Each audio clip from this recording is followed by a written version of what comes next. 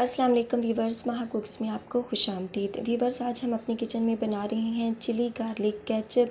बहुत ही ज़बरदस्त, चटपटी सी बनाना बहुत ही ज़्यादा आसान। तो टमाटर आए हुए हैं फ़्रेश मार्केट में तो इसे लाएँ, लाकर बनाएँ और इसको लंबे अरसे तक स्टोर करें और इस्तेमाल करें। तो चलें, करते हैं फटाफट से रेसिपी को स्टार्ट और देखते हैं कि ये कैसे बनती है। बिसमीम तो वीवर्स यहाँ पर मैंने टमाटर ले लिए हैं। दो किलो हैं मेरे पास और इनको अच्छी तरह से धो लिया है। कोई डस्ट कोई मट्टी वगैरह इनके ऊपर नहीं लगनी होनी चाहिए। तो इस तरह दो किलो टमाटर का फार्मूला है ये। दो किलो टमाटर मैंने ले लिए हैं और अब मैं क्या करूँगी, इनको हम कटिंग करेंगे। इसका जो फ़र्स्ट वाला पार्ट है और एंड वाला जो पार्ट है, हमने इसको कटिंग करके साइड पे कर देना है और इसको रफली इस जिस तरह हम कटिंग करते हैं, इसी तरह हमने कटिंग कर लेना है। हमने कोई इसके छिलके नहीं उतारने, बीज नहीं उतारने, वो हम बाद में इसको बहुत आसानी से रिमूव कर देंगे। तो चलिए, इस तरह से इसके जो तमाम टमाटर हैं, इनके छिलकों को, इनको मैं कटिंग कर लूँ बारीक बारीक फिर देखते हैं।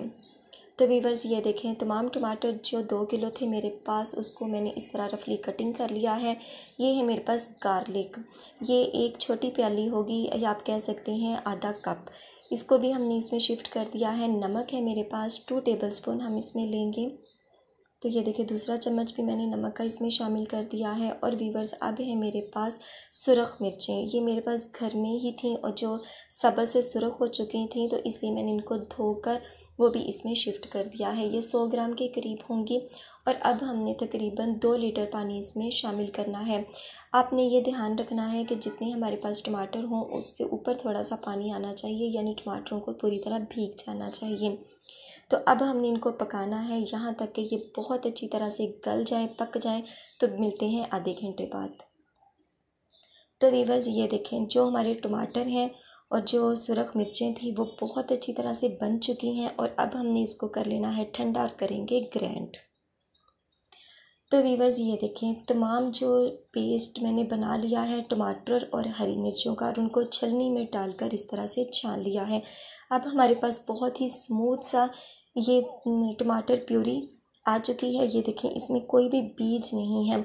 अगर आपको लगे कि आपने इसमें बीज ज़्यादा शामिल करने हैं तो आप इसको भिगोइएगा नहीं।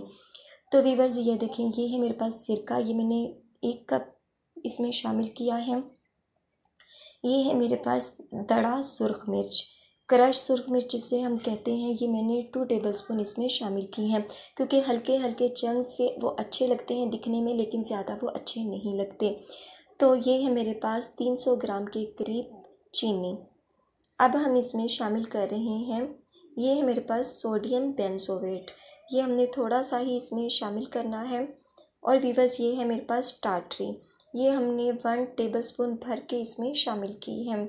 और वीवर्स इसके बाद है, ये है जेंथम गम ये देखें ये इस तरह की मार्केट से मिलती है। हमने इसके टू टेबल स्पून एक आधे लीटर पानी में शामिल करके इसको अच्छी तरह से ग्राइंड कर लेना है और इसकी थिक सी प्यूरी बना लेनी है। तो इसको मैंने पहले से ही ग्राइंड करके रख लिया था आपको दिखाने के लिए।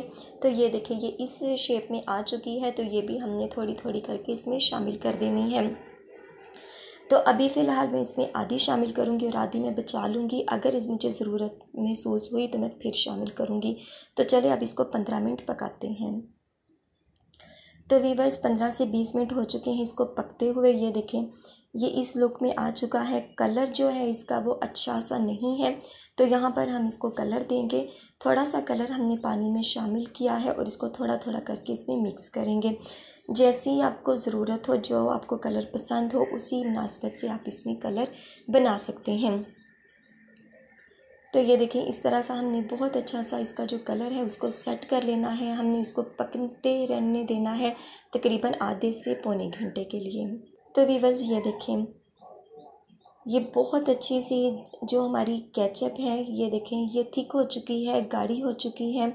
जो हमारी चिली गार्लिक केचप होती है, वो टमाटो केचप से हल्की सी उन्नीस बीस का फ़र्क होता है, यानी थोड़ी सी लिक्विडी टाइप की होती है।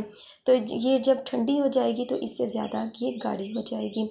तो ये देखें, इस तरह की ये बनकर तैयार हो चुकी है। तो यहाँ पर हमने पाँच मिनट तक मैं इसको मज़ीद पकाऊँगी। तो वीवर्स ये देखें, ठंडी होने के बाद ये थोड़ी सी मज़ीद थिक हो चुकी है। आप इसकी थिकनेस चेक कर सकते हैं। बहुत ही ज़बरदस्त ये हमारे पास चिली गार्लिक कैचअप बनकर तैयार हो चुकी है। इसे घर में ज़रूर ज़रूर ट्राई कीजिएगा। फीडबैक अपना ज़रूर दीजिएगा। तो वीवर्स ये देखें, ये है इसकी फ़ाइनल लुक बहुत ही आसान तरीका आप इसे बनाए, बनाकर स्टोर कर लें और इसको लंबे अरसे तक इस्तेमाल कर सकते हैं, ये ख़राब नहीं होगी। अगर आपको सुरख मिर्चें इसमें ज़्यादा चाहिए मतलब इसमें सुरख मिर्चें तो हैं, लेकिन अगर वो दिखने में आपको ज़्यादा चाहिए, उसके जो बीज हैं वो ज़्यादा नज़र आने चाहिए तो आपने अलहदा से सुरख मिर्चों को भिगो कर और फिर उसको ग्राइंड करके इसमें शामिल करना है। तो आई होप फीवर्स आपको आज की ये रेसिपी अच्छी लगी होगी। तो आखिर में वही रिक्वेस्ट वीडियो अच्छी लगे तो वीडियो को लाइक और चैनल पर नए हो तो सब्सक्राइब करना मत भूलिएगा। और बेल आइकन को ज़रूर प्रेस कीजिएगा ताकि आने वाली हर नई वीडियो का नोटिफिकेशन आपको बर वक्त मिल सके। तो इन मिलेंगे अपनी आने वाली किसी नेक्स्ट वीडियो के साथ।